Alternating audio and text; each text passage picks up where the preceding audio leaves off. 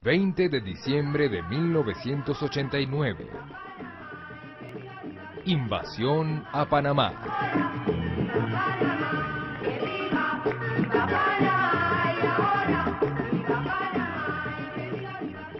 El general Manuel Antonio Noriega fue un aliado incondicional de Estados Unidos desde el año 1969 hasta 1987, es decir, durante 17 años Noriega fue el hombre de confianza del Departamento de Estado, de la Agencia Central de Inteligencia, CIA, y de la Drug Enforcement Administration, DEA, de quien aún en el año de 1987 recibía cartas oficiales de reconocimiento del gobierno de los Estados Unidos por su lucha contra el narcotráfico. Noriega, junto con los generales Paredes y Flores, los sucesores de Omar Torrijos a su muerte, inician en Panamá lo que se conoció con el nombre de desmantelamiento del torrejismo. Como se sabe, fue el general Omar Torrijos el firmante de los tratados Torrijos-Carter, mediante el cual toda presencia estadounidense en Panamá debía cesar en 1999. Ello incluye la entrega del canal a la administración panameña y el retiro de las bases militares norteamericanas en Panamá.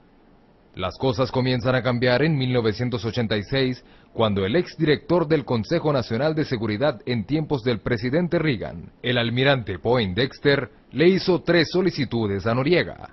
Primero, retiro del grupo Contadora. Segundo, utilización del territorio panameño para la creación de una base de la contra nicaragüense. Y tercero, su retiro de la comandancia de las fuerzas de defensa. Ante la negativa a estas solicitudes, Estados Unidos se dio a la tarea de desacreditar a Noriega, apoyar a la oposición y solicitar la ayuda de los gobiernos latinoamericanos para exigir la salida de Noriega de las fuerzas de defensa y hasta de Panamá. En 1986, en un artículo publicado en el New York Times, se acusa a Noriega de narcotraficante was charged today that the military strongman of Panama, Manuel Noriega, is the number one drug trafficker in the Americas. Intelligence have also led to new investigations on Capitol Hill, on Capitol Hill, on Capitol Hill. A partir de esa fecha, se inició un largo periodo de presiones, acusaciones y acciones que pasaron por un proceso electoral de dudosa legalidad, donde la oposición cruzada civilista y democracia cristiana ganan las elecciones el 2 de mayo de 1989, las cuales son anuladas al día siguiente por el Tribunal Supremo Electoral ante la evidencia surgida, sin que hubiera llegado a contar la totalidad de los votos. Desde ese momento, los Estados Unidos se dieron a la tarea de realizar constantes actos de provocación, desde las diferentes bases militares gringas situadas en el Canal de Panamá, bajo la excusa de estar realizando ejercicios militares regulares en defensa del canal, presionaron a los gobiernos latinoamericanos para que de alguna manera intervinieran directamente en la condena al gobierno de Noriega, a la vez que exige un pronunciamiento condenatorio a la Organización de Estados Americanos, OEA. Mientras el mundo entero se aprestaba a celebrar la Navidad, el presidente de Estados Unidos, George Bush, luego de la muerte de un teniente de la Armada norteamericana por parte de un soldado de la Fuerza de Defensa panameña, ordenó la invasión a Panamá el 20 de diciembre de 1989 bajo el nombre de Operación Causa Justa, cuyo objetivo público fue la captura del presidente de la República,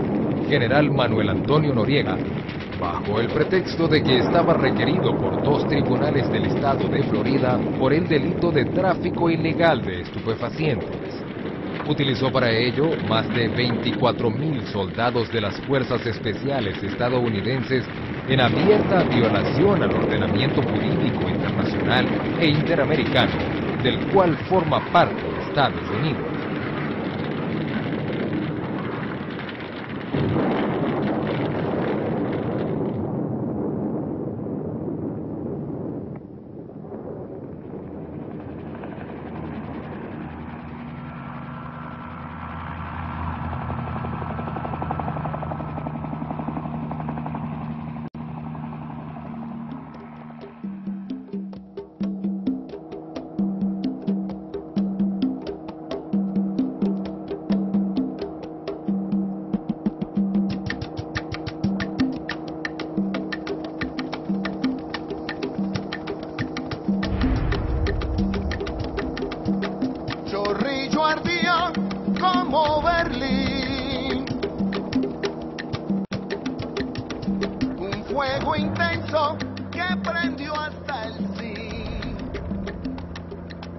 Estados Unidos empleó armas técnicas y equipo bélico altamente sofisticado. Bombas dirigidas por láser, arrojadas cerca de los cuarteles de las fuerzas de defensa buscando crear el pánico y el desconcierto. Puso a prueba el avión fantasma, el F-111A. Las fuerzas de defensa, tal como lo previó el general Torrijos, fueron designadas para velar por el cumplimiento de esos tratados.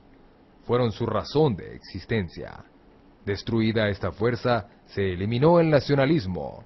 Por eso, el objetivo de la invasión no fue el general Noriega, sino las fuerzas de defensa como institución. Un fuego intenso que prendió hasta el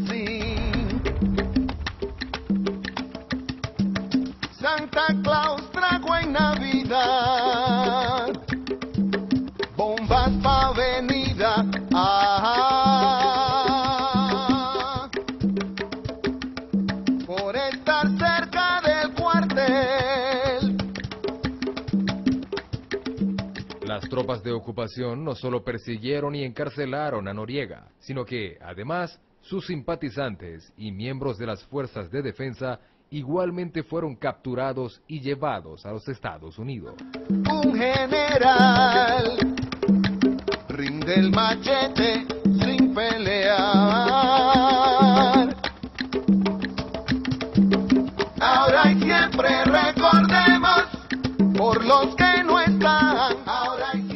Indudablemente que la invasión no fue para capturar a un criminal panameño y llevarlo ante las autoridades judiciales de los Estados Unidos. Días después de la invasión, el presidente de Estados Unidos, George Bush, declaró en San Antonio, Texas, que todos los objetivos previstos en la invasión se habían cumplido. 1. La destrucción de las fuerzas de defensa panameñas. 2. Instauración de un gobierno de confianza. Y 3. La seguridad de conservar las bases militares del Comando Sur más allá del año 1999 los soldados y oficiales de las fuerzas de defensa fueron obligados a barrer las calles de la ciudad vestidos con mono obrero, en último acto de humillación al vencido.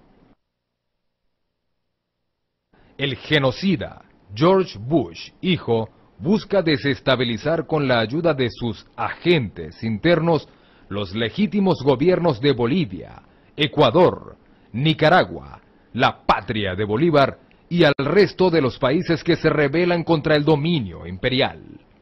América despierta, la patria primero. Solo unidos seremos libres, orgullosos de ser venezolanos. Prohibido olvidar.